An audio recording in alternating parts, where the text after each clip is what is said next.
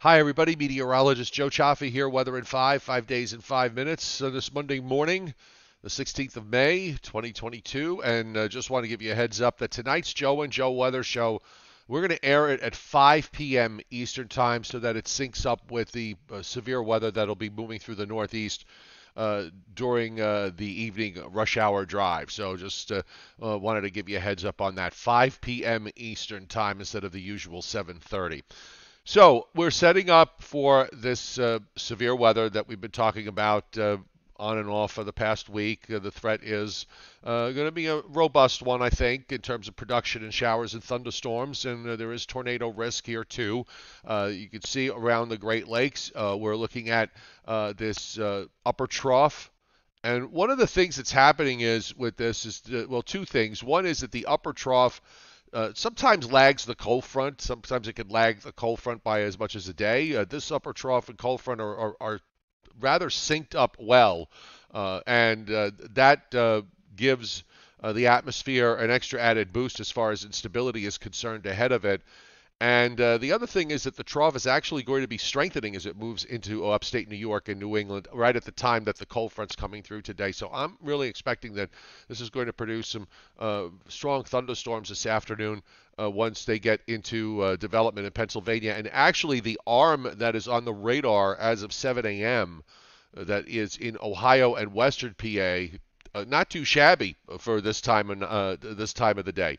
Uh, and we're going to see these storms uh, by noontime actually fire up uh, quite sharply across uh, west central Pennsylvania, and then they'll begin their move on to the east. Just a quick check of the radars elsewhere. There's not really a whole lot happening. There's some scattered showers a little bit further to the east in Pennsylvania.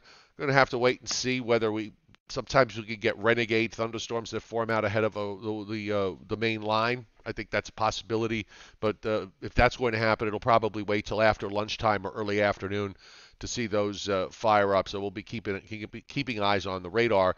Uh, otherwise, uh, it's it's fairly quiet across the rest of the mid- middle and South Atlantic states down into Florida, other than what's off the Florida East Coast.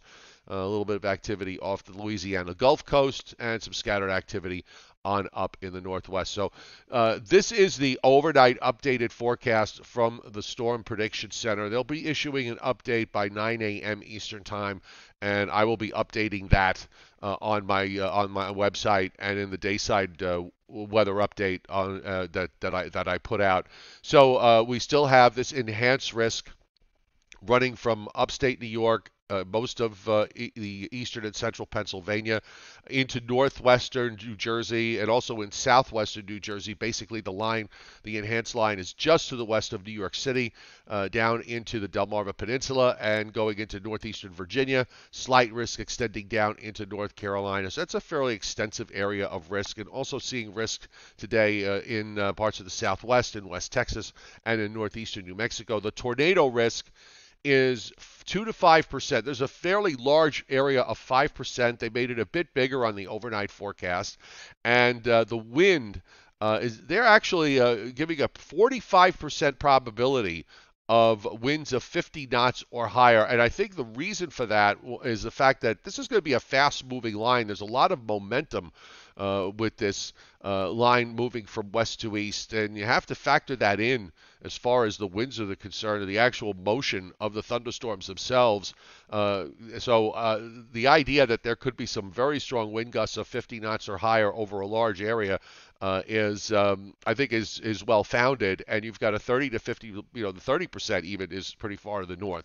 You often don't see. Usually you see 15, sometimes you see 30, uh, 45 doesn't come up uh, all that often, and uh, also a 15% chance that you could see um, one inch in diameter uh, of hail or larger uh, for this area. That's that's uh, that's also not a shabby number. As far as rainfall is concerned, this week uh, in New England, the coastal New England down to about New York City. So as you go to the east, we're looking at a half an inch or less, in some cases a quarter of an inch or less, and then you see higher amounts uh, as you uh, go inland of the coast of uh, three quarters of an inch to a, an inch and a quarter. We probably will have another cold front late this week that'll produce some showers and storms. And uh, the other area of rain is going to be over Florida. Looks like uh, several inches of rain could be uh, in store for Florida during the next seven days across the lower Ohio Valley, three quarters of an inch to an inch and a half, uh, maybe even a little bit more in spots, and on up into the northern plains of the Pacific Northwest. A few places in the southwest may see a little bit of rain in the coming week. Uh, still not well, it's still pretty dry just about everywhere, but we're starting to see a little bit of precip there. So uh, let's look at the. Uh, this is the H triple R, and what I'm showing here, these are uh, CAPE values. Uh, they're a measure of instability. The higher the CAPE value, the more unstable the atmosphere is. And if we roll through the the uh, map, uh, you'll notice that purplish area that uh, blossoms out during the day today over Pennsylvania to New Jersey and the lower Hudson Valley, and then on southward down into Virginia and eastern North Carolina. Uh, those are uh, numbers. In, in, rather than get into the actual details, it's you know 1,000 to 1,500 of the values. That's fairly high, particularly for the uh, the uh, northern Mid-Atlantic and points northward. So the models are all showing no matter which one I pull up, it's all going to show a very unstable atmosphere. And uh, I, I, think the HRRR has the right idea with this sort of squall line uh, that forms. And you see how quickly, you know, this is at uh, 2 o'clock in the afternoon, 3, 4, 5. It's in western New Jersey. And that's why we moved up the time of the Joe and Joe Weather Show. And then 6, 7, 8, 9, uh, 10, 11, midnight. So uh, that is a uh, that, that that's a, a, pretty fair rate of speed. It looks like these storms are going to be moving at about 40 miles an hour plus, or at least the squall line is going to be moving at 40 to 50 miles an hour uh, as it swings on through uh, the northeast. So uh, watch your timing, as you I said. I'll go over it again. So this is at 2 p.m. You can see that the line is just moving into eastern Pennsylvania. Three, four, 5 p.m. into western New Jersey, extending down into Delaware. Uh, there's a secondary line of storms behind it uh, that forms. That'll probably uh, wind up uh, weakening as we uh, head to sunset. This is at 6 o'clock. Uh, reaching the Massachusetts New York state line, the Connecticut New York state line, and then running offshore. Now, as far as the immediate coast of southern New England, there's always with the marine layer this time of year, and these storms could weaken. The upper trough might compensate for that for some degree, so we'll just have to watch to see what the radar produces. Now, very quickly, since I'm already, you know, past the five minutes, which to those of you who see this regularly, regularly, that's no huge surprise. Uh, so, uh, after this goes by, we should be fine for tomorrow and Wednesday, other than clouds mixing in with some sun. That'll be the biggest problem we have. And temperatures will be uh, a little cooler. Might be a little breezy tomorrow, upper 60s and low 70s for Tuesday and Wednesday. We have a disturbance that's approaching for Wednesday evening with some showers. Uh, that'll go by. It'll transition us slowly into a warmer and more humid air mass as we move through the end of the week and into the weekend, which I think is going to be a very warm weekend. For the first time, we're going to see a warm weekend in, in what's got to go back to last fall. We're going to put together, um, uh, certainly for the first time this spring, I think we're going to put together two days that are other than the isolated shower that might pop up, should be on the dry side.